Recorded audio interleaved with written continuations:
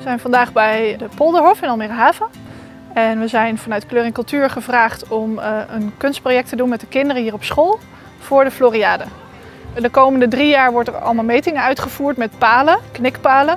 Dat zijn eigenlijk een soort veredelde lantaarnpalen. En ja, die zijn natuurlijk niet zo fantastisch mooi. Dus toen dachten ze van, kunnen we daar iets mee met de kinderen van Almere?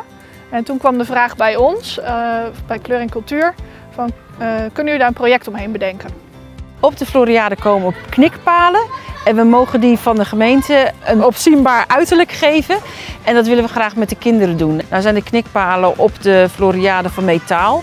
En om dat op een, op een kindvriendelijke manier te bewerken is best lastig. We hebben gekeken van ja, wat, wat zouden we dan op het beste kunnen doen. En we zijn uh, natuurlijk helemaal in de duurzaamheidsgedachte gedoken van ja, hoe kunnen we dat dan met kinderen vormgeven. Dus we zijn op zeefdrukken en op uh, ja, recyclebaar bannerdoeken gekomen. Die mevrouw, uh, die kwam gewoon in de klas, ze liet allerlei dingen zien en daar kon je voor opgeven. Ja, en dat, dat, ik dacht, dat vind ik wel heel tof. Toen ging ik gelijk naar mijn moeder en ze zei, ja tuurlijk. We zijn nu aan het kijken van welke vragen leven er bij de kinderen in de stad. Die gaan over de thema's van de Floriade. Die thema's die bespreken we met de kinderen en de vragen die daaruit voortkomen.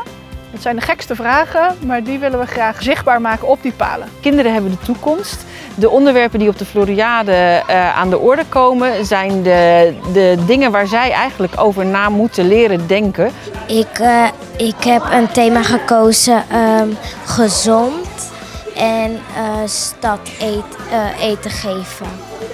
Als je dingen doet dat slecht wordt met jou zijn, dat kan dat het gewoon ja, misgaat.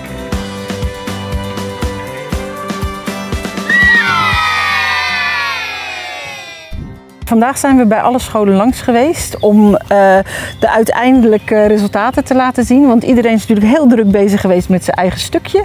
Maar uh, ja, alle stukjes bij elkaar geven een heel mooi geheel. Ik vind het best wel cool.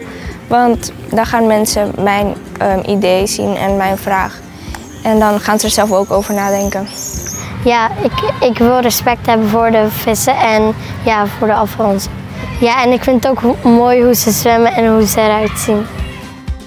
Ja, zeer zeker geslaagd. Als je vandaag ook alle trotse gezichten zag, het was echt heel mooi om te zien. Nou, ik vond het een leuk project en ik heb er veel van geleerd. Het was wel heel mooi om te zien hoe enthousiast de kinderen waren vanmiddag. Dat ze uh, zagen hoe het uiteindelijk geworden is. En dat ze ook een, een linnen tasje mee hebben gekregen met hun eigen ontwerp erop. En dat ze echt vol trots van ja, dit heb ik gemaakt. En uh, ja, ze zijn super benieuwd om volgend jaar ook echt hier te komen kijken.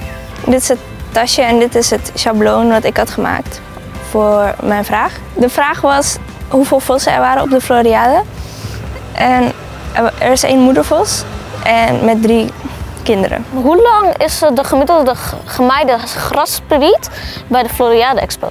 Mijn linkerhand heb ik hier opgezet. Bij mij vier vingers is één graspriet ongeveer 5 centimeter. Dit heb ik gemaakt. Hier dat ze zeg maar ademen in het water. En hier is een groene. En hier heb ik zeg maar die mondje gemaakt. Alle vragen van de kinderen die zijn ook te vinden op de website. En daar komen dan alle ontwerpen van de kinderen even los met een foto en de vraag. En uh, ja, voor de antwoorden zou je dan hierheen moeten komen, want hier staan ook echt hoeveel bomen er zijn en alle antwoorden op de vragen.